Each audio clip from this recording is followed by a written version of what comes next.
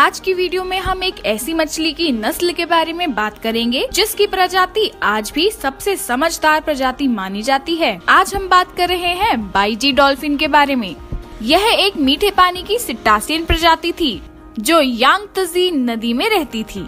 जीवाश्म रिकॉर्ड के अनुसार यह प्रजाति पहली बार प्रशांत महासागर में दिखाई दी और लगभग 20 मिलियन साल पहले यांगत्जी नदी में चली गई। चीनी पौराणिक कथाओं में इसे यांगत्जी नदी की देवी माना जाता था इसके विलुप्त होने के कारण कुछ इस तरह थे नंबर एक, इनकी खाल के हैंडबैग और दस्तानों की अंतर्राष्ट्रीय बाजारों में मांग होने के कारण इनका बहुत बड़ी मात्रा में शिकार होने लगा। नंबर दो, जहाजों के ब्लेड से कटने के कारण। नंबर तीन, मछली पकड़ने के जाल में फंसने के कारण।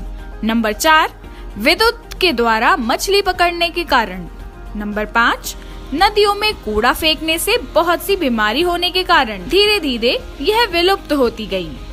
1950 के दशक में चीन के औद्योगिकरण से पहले यांगतजी के संपन्न परिस्थितिक तंत्र में अनुमानित 6000 बाईजी थे 1980 के दशक के मध्य तक सर्वेक्षणों से पता चला कि केवल कुछ सौ बाईजी ही बचे थे और उन्नीस सौ सत्तानवे में यह घटकर केवल तेरह ही बची और अंत में 2006 में इसे पूरी तरह से विलुप्त घोषित कर दिया गया तो कुछ इस तरह मनुष्य के ज़्यादा शिकार और प्रदूषण के कारण बाईजी डॉल्फिन विलुप्त हो गई।